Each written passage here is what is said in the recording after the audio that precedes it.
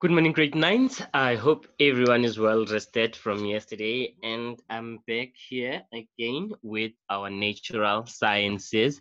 I'm still your host, Kolisani Mbata, and those are my Twitter and Instagram handles. Please continue the conversation after class. Uh, without any waste of time, let's see. Uh, today, what are we going to look at? Uh, today, we are going to look at the following uh, you learn the following factors that affect resistance. We already know what is resistance. We already know uh, what you call type of resistors, uh, obviously that have the different effects on the destination of the current. Uh, remember yesterday we discussed uh, the, the, the, the, LDR, we uh, discussed the LED, we discussed what is a rheostat, and then we finally discussed what is a resistor as a whole. So today, grade nines, what I want us to look at, uh, it will be the factors that affect resistance in a circuit, and also how to collect data. So now you, uh, as I've been saying to you, that you actually know how to calculate the, the amount of current that is uh, flowing through their uh, conductors uh, by now everybody know what is a conductor. Um, grade nines, who wants to assist me in doing these corrections? We don't have much of a homework, but Amra raised her hand. Uh, let's go. Open your mic, Amra, and we do corrections.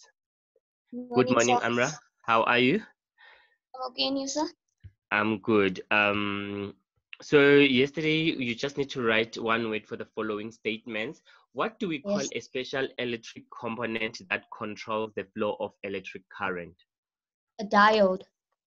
A, a special electric component that controls the flow of electric current. So isn't it a diode? Nope. A resistor? Nope. Last check. Before I tell you. A conductor. Oh. It's a Oh, conductor. It's a conductor. It directs the special component that controls the flow of electric current. So it's a conductor. so but isn't diodes are special electric components that control the flow of electric current? A diode. Yes, sir. What is the definition of a diode from yesterday's notes? A special electric component that controls the flow of electric current. So we can also conclude that diode is um, a conductor. Oh, yes. obviously it conducts the, okay. Oh, a special, a special, a special, okay. Yes. Thank you very much, Amra. But I will take a conductor as well. Whoever wrote a conductor, I will take it, let's say a diode or a conductor. A conductor. Um, I want us to look at number two, Amra uh, what is number two saying to you? Say something that um, something used to automatically switch the lights outside a house on or off as it gets darker or lighter. LDR. Stands for? Um, light dependent resistor. LDR, which is also a light dependent. Where do we use it? Where do we normally say it? Light dependent. Um, on the, the outside poles. houses? Yes, on the street poles, light, light dependent yeah. resistor. Then uh, let me highlight it so that if anyone goes onto the slides after class, can be able to see the answers. Then let's continue, Amra. Um, C says to you uh, something that is responsible for the functioning of the volume in a radio. A rheostat. Thank you very much. It is a rheostat. We did this yesterday. Those yes. who were in class yesterday, they saw us doing this. Um, then they say to you uh, something that can be identified by strips of brown or blue inside an electrical uh, device. So is it live or neutral wires? Yes. You said it is?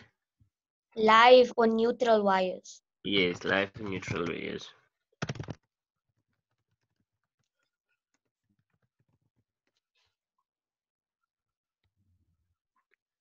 Then um, E says uh, something responsible for functioning of traffic lights. So LSDs, light sensitive diodes. LSD, uh, light sensitive diode. diode. Uh, or LED, right? Remember we spoke of LED that the light emitting diode also give uh, what you call light. In fact, for for for for, for traffic lights, yesterday I said LEDs. If you go there, um, let me read for you on yesterday's notes, grade nines. Why is it LEDs? Yesterday's we said LED. Um, I can't see my notes. Okay, there we go. The traffic lights work on LEDs. So an LED converts electrical energy into a light energy. So the correct answer there is LED. The light emitting diode is the one that works on um works on uh, what you Traffic call lights. traffic lights. Yes, so it's a light emitting diode. LED Oh. stands for light emitting diode. So they're the ones that actually uh, works on traffic lights because they give us that light. And remember that they are actually sensitive to temperature because uh, they remember that I said it takes about um, a minute for a traffic light to change from uh, one color to another then it's because of they reach a certain temperature that the led is sensitive to and then it's changed to a certain color uh, Oh. It is abbreviated as ldr what is it? Light dependent resistor. light dependent dependent uh, resistor resistor. Grade 9 uh, before amra goes anyone with questions concerning our yesterday's uh, question uh, qu- uh, homework? Anyone with a question? Uh amra? Yes, sir. No one has a question i will actually Thank um you. Yes, thank you. Don't go away. And then thank you so much. I appreciate. Let's Sure. continue with our today's lesson, grade nines. So today, grade nines, as I've said, we are looking at factors that affect um, factors that affect resistance. So what is it that affects resistance? We looked at a few yesterday, and then but um, what exactly affects resistance grade 9 is that different factors affect amount of resistance that a specific uh, resistor offers. So let us focus on the uh, on these uh, there following four on these following four factors. Grade 9 if they say to you uh, name uh, the factors that affect resistor you would be looking at the following. You will be looking at the following grade 9 uh, I want you the type of material. So the type of material, uh, what are we talking about? We're talking about the different materials that offer different amount of resistance to the flow of electric current. So there's different material that can be used as conductors, uh, as conductors, grade nines. Remember we said that for current, to move from the cell. Remember that we said from the cell, energy is stored as potential energy. Once it start moving, it is it converts to kinetic energy. So that kinetic energy can travel through different material of conductors through different material of conductors. And number one, the fact that affects the flow of current is the type of material. You write type of material, one affects them the flow of current. Remember that good electrical conductors offer low resistance to the flow of charge. So if it's a good electrical uh, conductor, the material will offer less will offer less resistance or low resistance to the flow of charges. So we don't want a material that will make it hard for current to flow through. Remember that we have um, good electric conductors. So they're the ones that we use in most of our um, our what you call in most of our appliances yesterday uh we spoke of um the, the, the different um, resistors we talk we spoke of the element in a kettle we spoke of the filament in a test tube and all those things where they the, the electricity goes to. I even made an example about cord, that electric cords are not the same. If you're looking at your charger, uh, the, the, the charger cord and the kettle cord, you will see that those uh, are different. Those are different. Then um, let us look at this, the material again. They say to you, silver, copper, and gold are the best electric conductors, are the best electrical conductors. Silver, copper, and gold are the best electrical conductors. But uh, if you were to think about it, grade nine, the why don't we use gold to actually in every uh, other part to, to, to, to, to conduct electricity, let's say from our substation to our houses. We all know that we are using copper because copper is not that expensive as compared to gold and silver. But what ends up happening is that because they are expensive, these things, they end up stealing them. That's why we get to have load shedding. We, that's why we, we get to hear things like, oh, they stole a cable. That's why we don't have electricity supply because of this material is expensive. Why don't we use other materials? Because they are not good electricity air conductors. So those will be other effects. Then if someone wants to say on skills focus, your teacher asks you, why don't we use silver or copper or gold in every other thing? And then you will say it's because they are expensive. But we use copper for conducting wires because it is not as expensive as silver or gold. I have already uh, mentioned that grade nines. I want us to continue. Um, so we're looking at the types of materials. And then look at this. Semiconductors are substances, uh, is a substance that conducts electric current under certain conditions. So semiconductors, we've got things that are semiconductors. They are not conductors. So they conduct electricity under current uh, certain conditions. You know, they're not always good conductors as the previous ones that I had mentioned before. I said the good uh, material to conduct electricity is silver, gold and copper but we use copper because it is the least uh, it is the least expensive as compared to gold and silver. But it doesn't mean that we don't use um, gold and silver. As the lesson continues grade nines you will see that we do use silver in certain uh, silver and gold in other appliances. But you know what's going to happen? If we're using gold and silver that means those uh, appliances uh, or those gadgets will be expensive because of the material that is used. And then now I've introduced you to a new term, which is semiconductor. Then when does semiconductor uh, control electricity or conduct electricity? It is when uh, it under it is under certain uh, conditions. And then I also want us to look at um, insulator.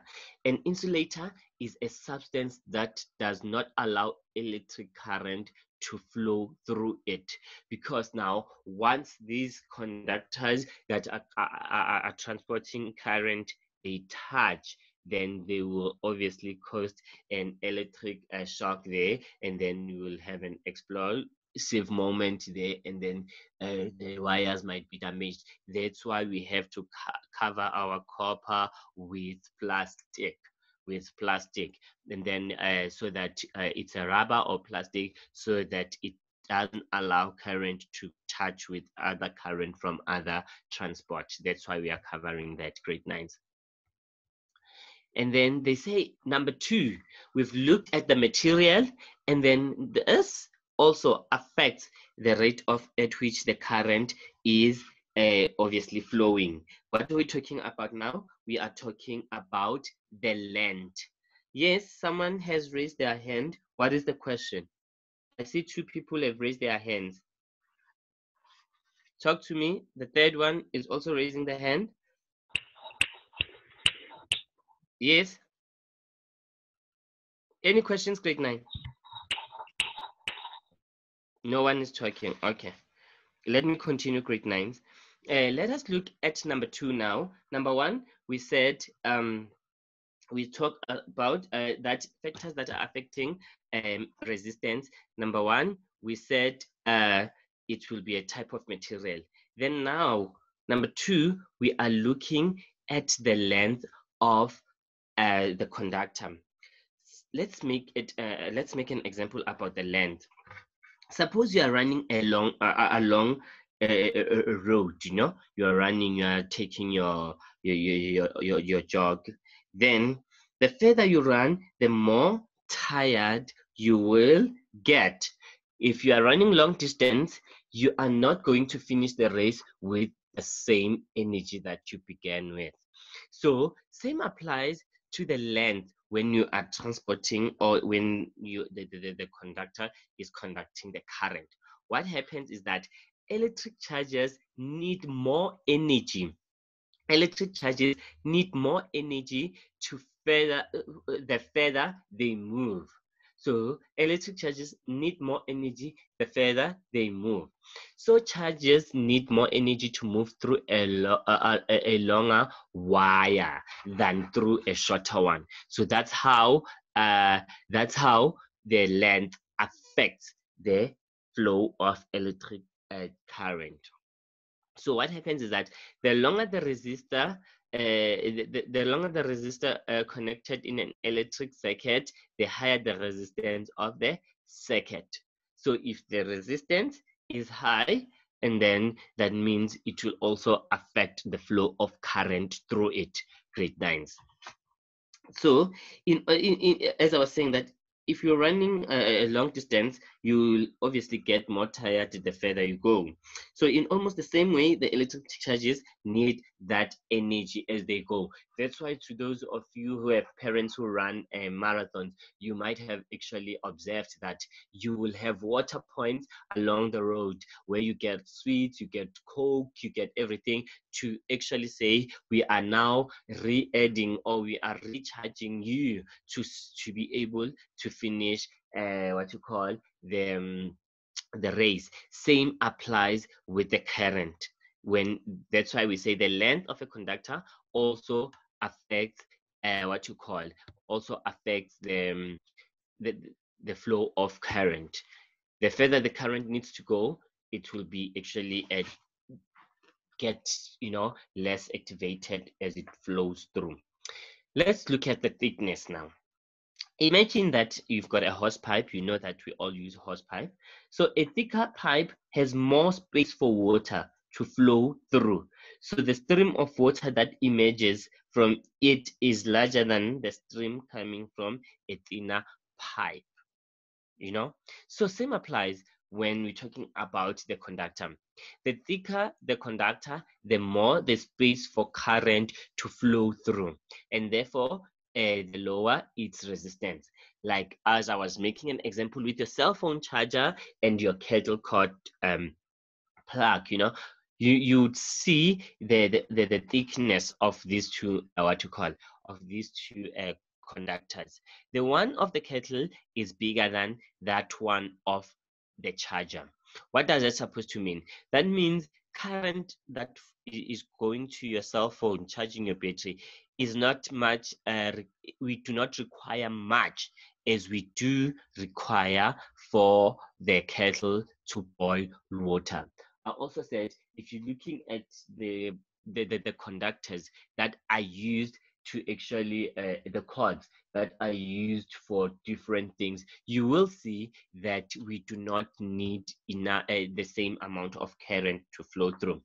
So remember that number one we said the thickness oh it's the thickness is the length and is the material the material. Then we will now have to look at the fourth one. We'll now have to look at the fourth one, grade nine. If we're looking at the fourth one, what are we talking about? We're talking about temperature. So now, when we are looking at the temperature grade nine, what are we talking about? An electric resistance varies with temperature. So it varies with temperature. So it is not the same the electrical resistance is not the same because the other ones are more affected by the temperature. Remember I said temperature is telling us that energy is being used. So when you are touching the cord and then you feel that the cord is hot, it means electricity or the current are being used before they reach the destination where they're supposed to actually be utilized. So for most metals or mixtures of metals, the, the resistance increase if the metals are heated up. So the higher the heat, air, that means it means uh, there's a higher resistance. When you hit the length of a wire or resistor, the particles inside it get more kinetic energy and move around. Then if they are moving around without flowing to the destination, that area will get more kinetic energy. Remember that I said once eh, the, the, the, the, the, the, the current starts flowing through the conductor and then uh, then the energy is changed from potential energy to kinetic energy. Then that means now your energy is being utilized. You are using energy. Once you start talking about kinetic energy you are talking uh, you are saying energy is now being utilized. Any questions? Grade 9 so far.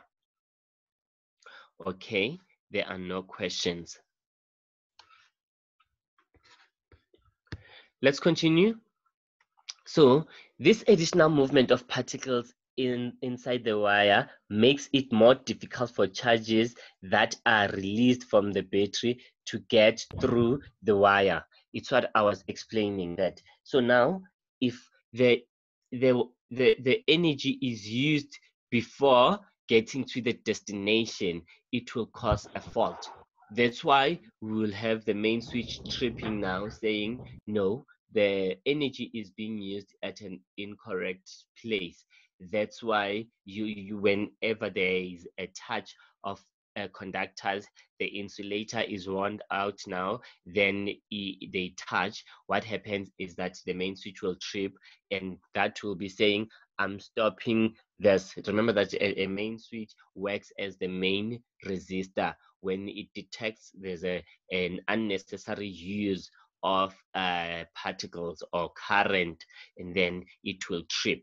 So each which is to say okay i'm resisting the charges from my thing from the uh, from the cell to be used anymore else. So grade nines let us look at data and analyzing. So when we're talking about data those are facts or information taken from an investigation. So now, as I told you, when you are calculating, let's say you are calculating current, that will be the data that you will be using to actually analyze that are we using the correct current for the light bulb? Are we using the correct current for what you call for for the TV and everything. Let me give you an example before we continue. You know that um, in South Africa, we've been facing uh, this load shedding thing. So if there's a load shedding, your parents will always advise you switch off the TV from the plug so that it won't get damaged. So what happens is that once they lift up uh, the switch from the load shedding, uh, whoever, wherever our main switch for our substation is. So when they switch off, they switch on a resistor now. Say we are we are putting off you guys for four hours. When they are now releasing current, because current has been in the same place not being utilized. Once they open, they switch of the, the, the, the resistor, the current will flow so much that it is powerful. And when the current gets to its destination to be utilized by the TV or the fridge, it will be too much, and the TV will not be able to actually um, handle that uh, amount of what you call that amount of uh, electricity then uh, of or current if I may say, then that's why that is the reason it will actually be damaged. So that's why I'm also advising you that once you say there's no electricity, you switch from the plug now because I've taught you about the flow of current through the conductor. What happens if the current has not been moving for some time? So now remember that the cell will say won't say I'm no longer releasing current now, but it will be released and there's a resistor that will be switched on. Remember when this, the resistor is on, that means that there, there won't be any flow of current to the destination, but it doesn't mean the potential difference will stop now product, uh, producing the current. Then once the resistor is switched off and then there's powerful movement of current, that's how our appliances get damaged. And then when you talk about analyzing data, it's what I was doing just now. I've been analyzing data. So when we talk about uh, the anal uh, how you to analyze data, we are talking about you looking carefully at data to find patterns and meaning. So now I've explained to you why do our appliances get damaged. So now we can actually say, oh, the TV needs only 15 volts for it to actually uh, function. Then when, uh, yes, someone raised their hand, Nosipo. Nosipo and Mate 20. Talk to me. Sorry, sir, it was a mistake. Oh, no problem, no problem. Let me continue. Then um, I've been explaining to you that um, that when let's say the TV needs um, 15 volts to uh, function, and then at 10 o'clock the electricity is coming back, yes, then uh, when the current start flowing, it will flow in as like 25 volts. Then remember that we needed only 15 volts. Then that's why the destination, that's why the globes will burst. That's when the TV will no longer function because it experienced so much uh, current than it needed. Uh, let us recap grade nine. Let us recap what we've been talking about. We said that resistance in a circuit is affected by the following the type or material the type of material. Let me write there the type of material not just the type but the type of material material used as a conductor used as a conductor. And the thickness of that conductor the thickness of the conductor the thickness of the conductor will also affect the resistance. And then the temperature of the conductor. Remember, if the if the if the conductor gets hot, it means the energy is moving in the same place, and we don't want that because we want the current to be actually uh, used uh, in the final destination. And then the also we use this. We spoke of the what to call. We spoke of uh, it's the type of material, thickness, temperature. Which one did I not count, count grade nines there? Remind me. They're supposed to be four. Which one? Material? The length. What? The length. length. Thank you very much. Everybody is in class today. That's what I wanted to do. The length of the conductor. Length of the conductor. So now you can see what you need to know. And you also can uh, you can also now uh, explain how does uh, one of these uh, factors affect you know when we're talking about the material you know when we're talking about the thickness you know when you're talking about the temperature and you also know when you're talking about the length so we say the higher the resistance the lower the current. So if we don't have much of uh, allowance for current to flow through that means the, the resistance is very high. And then remember that copper silver and gold have less resistance than nichrome. And uh, we we did this yesterday when we're talking about um what you call when we're talking when we're talking about the way is the resistor placed in different household appliances then uh, we can also say that the longer the conductor the higher the resistance as well because the current gets tired before I don't know, you know, I'm using personification to the current now. Yes, it gets tired or it gets less active before it gets to the destination, grade 9. Then we said the thicker the conductor, the lower the resistance, because now there's more movement of flow uh, uh, uh, of current if the current if the conductor is thicker. And then we also said that uh, the hotter the conductor, the higher the resistance. We've said that again. I want us to look at this homework grade 9. Uh, write it down now. Write one word for the following statements. Write one word for the following statements. A special electric component that controls the flow of electric uh, current in one direction. It is used to automatically switch the lights outside a house on or off as it gets darker. It is used to it is used to automatically switch the lights outside a house on or off as it gets darker or lighter.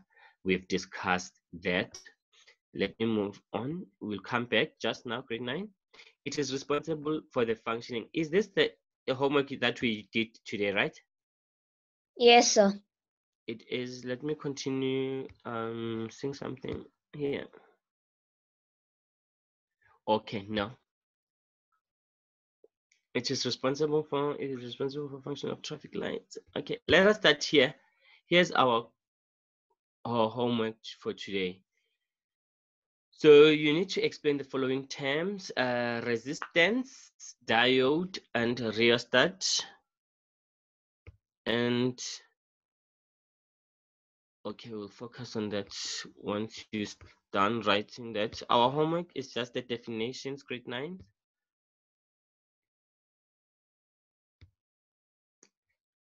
Where are we?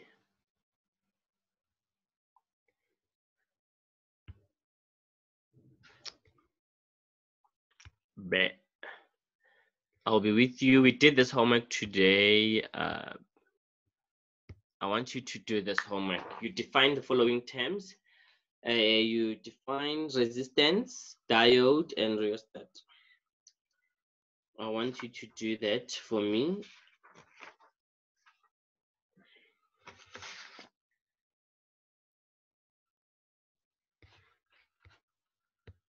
And I also want you to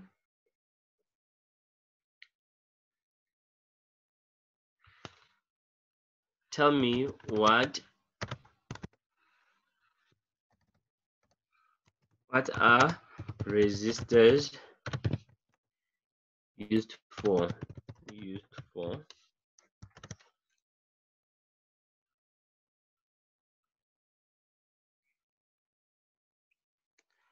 I'm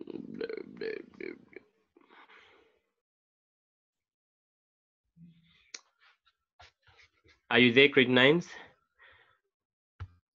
Let's continue part two of our homework.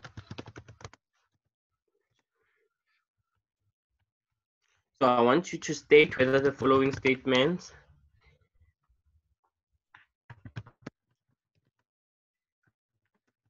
following statements are true or false. Number one, the higher the resistance, the lower the current. The higher the resistance, the lower the lower the current then number two copper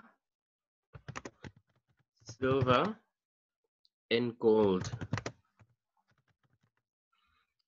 Have more resistance than nichrome. C, the longer the conductor,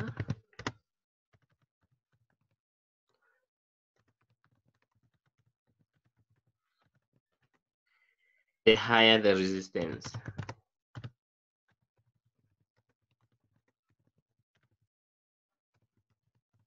The higher the resistance. D, the thicker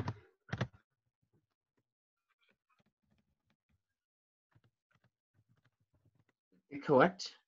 The conductor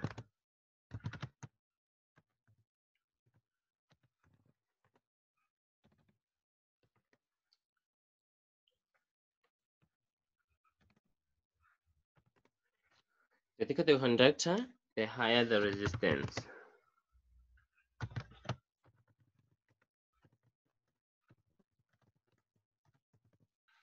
So everybody know is happy with my homework.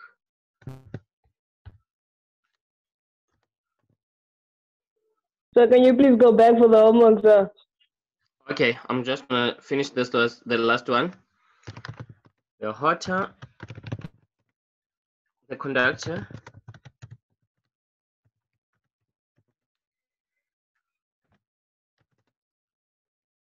the higher the resistance.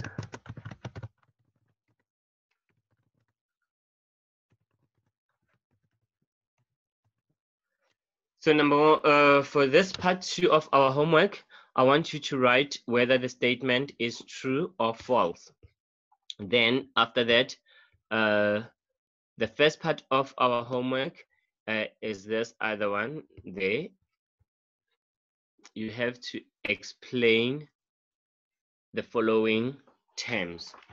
Resistance, diode, and rheostat. And you also have to explain, you need to know what are resistors used for. So this is the first part of our homework. Explain the following terms, resistance, diode, and rheostat. And then you also answer this question, what are resistors used for? Then we come here, state whether the following statements are true or false. The higher the resistance, the lower the current. Copper, silver, and gold have more resistance than nichrome. The longer the conductor, the higher the resistance. The thicker the conductor, the higher the resistance. The hotter the conductor, the higher the resistance. That is your homework for today, grade nines. Any questions? Any questions, grade nine? Sir, Yes. why um why does the voltage drop across a resistor if it is because a resistor like the amount of charge that follows through it depending on its resistance why does the voltage drop across a resistor Remember that the voltage, uh, the, the, the voltmeter is connected in series, right? And the Okay. batteries are also connected in series. So it detects the flow of energy. So that means if it drops, it is also dropping from the potential difference or the potential energy in the cell, from the cell. That's why it, it drops it, throughout the cell. Yes. Mm. Any more questions, grade nines? No more questions, sir. Thank you. So tomorrow, grade nines, I will be giving you uh, the scope uh, when we have to, because we all know that uh, the Department of Education has said that we are we need to go back to school. So what's going to happen is that uh, I will now start uh, incorporating term one and term two revision, and thereafter I can actually show you uh, how does what does the thingy the media exam look like? Are we clear on that one, grade nines? Remember that you you you're supposed to write with uh, your June exam in um, chemistry or biology, the first part where you were talking about cell being a basic unit of life. You're talking about the systems that you find in your body and the organs, and then we also did um, the chemistry part where we are talking about acids and bases and um, we also spoke of the periodic table there you'll need to do revision of that so um, i will tell you how are we going to work that one out grade nines tomorrow for now have a great day i'll see you tomorrow bye everybody thank you for coming Bye, sir. bye Enjoy your lessons. Bye. Bye. bye, bye. Although.